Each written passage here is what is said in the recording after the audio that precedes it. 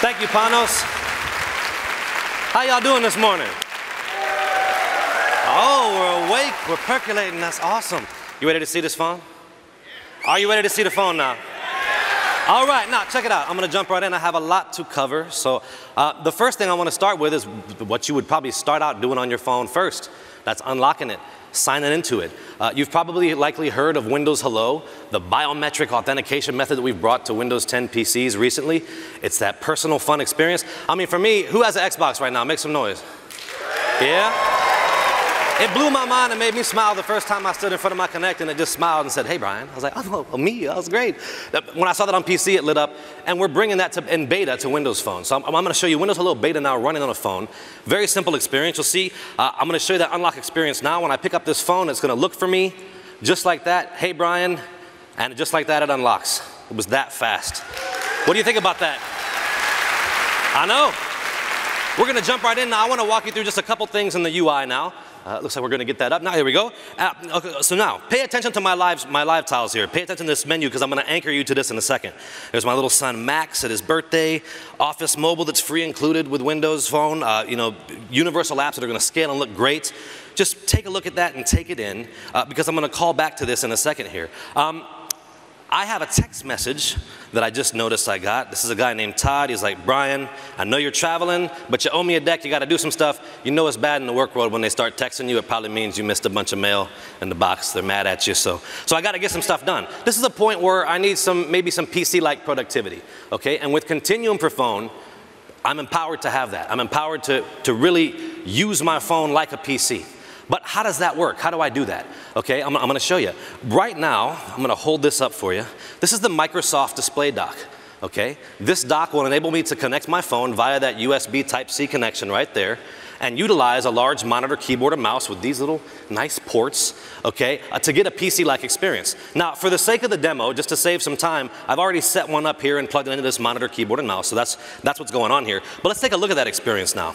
Okay, what you're seeing looks like a Windows 10 desktop, doesn't it? Doesn't it?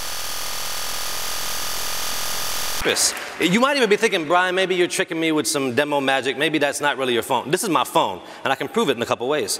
Up here, you can see my signal bars. I only got one because we're in this deep building. So, so there you go. Uh, here we go. Uh, I got start. These right here are my live tiles from the phone that I showed you earlier. Remember that? Remember my little son Max? Remember Office? These, this is my phone start menu because this is my phone. I'm gonna keep hammering that back on you. This is my phone pushing this experience. All right? So now, remember Todd told me I had a mail to open. I'm gonna open up this mail app now and actually click, oh my gosh, y'all are blowing up Twitter. I forgot that my demo account is my Twitter handle. That was bad, let me scroll down there. Cool. Here's my mail from Todd. Uh, and you can see I have a couple, couple documents here. What I'm going to do now is just open up some stuff to get ready to get productive. I'm going to open up Word with a double click because there's something in there I got to get to to do. Uh, and now once that loads, remember this is, look, this is the Word Universal uh, mobile app, Word Mobile. It's now scaling. This is the one that comes on the phone. It's scaling to look great on this screen. And look, all the functionality you expect is there. The welcome back message is there with one click. It takes me to where I, where I was in this document last, right? And I want to go back and open some other stuff. So how do I multitask? More PC-like experience. Look down here. My taskbar has my icons like you'd expect. The one that's running is highlighted like you would expect. With one click on Outlook, I can jump to that app and utilize it like you would expect on a PC, except this is actually a what? It's a phone, that's right. So I'll double click PowerPoint now to open that up because I'm getting my stuff ready. Got to get this deck done because Todd's texting me in the middle of this, so it must be super important. Uh, and right now I just want to pause. This is pretty cool. I showed you the taskbar, but look, I can bring up this task switcher and also bring that up. Who's used this task switcher on Windows 10 right now? It looks the same. Okay, now, I'm gonna pause before I do the actual cool office stuff that I'm gonna show you with the copy and pasting, just to prove to you that my phone is, is, is powering this. Uh, we're gonna cut now to a side-by-side. -side. I'm gonna show you, while I'm doing this, my phone is still a phone. You can see up here I'm connected to my monitor. But look, I can go back to my start menu, I can navigate things, I could open up and start texting people. My actual phone experience is not broken while I'm utilizing the desktop experience of Continuum, and neither is the one here. Each experience is in, in, independent and uninterrupted.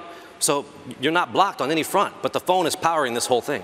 Uh, now, while I have this open side by side, I want to show you something kind of cool. I talked about the power of these universal apps, how they can scale to screen sizes. Watch this. Right here on my monitor, the phone is pushing the Outlook Universal app, right? Watch this. I'm going to open it on the phone, and you're actually going to see it collapse and scale down to the phone. That's the power of a, of a universal app in action. This app does not care what screen size it is. It just adapts in real time and looks great. What do you think of that? Yeah. But now, I got to do some stuff in PowerPoint. So let me, let me get in the nitty gritty and actually show you this. Um, I'm going to jump over to Word because I have to put a table in the middle of this deck. That's what the mail said. So look at this. Here's Word. I want to put this table there. Guess what?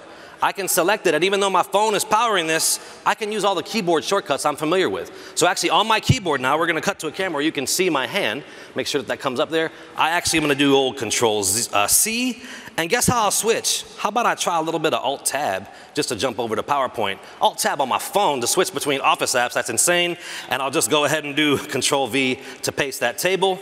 I am not fitting the purple, I, even though I'm wearing it, so maybe I'm a little bit of a hypocrite. I'm gonna jump to the little slate there and get the rich formatting of the table the way that I want it. Easy to move it into place. Okay, is that insane? The phone is doing this. How could we possibly, how could we possibly make this more like a PC? I, there's one little way.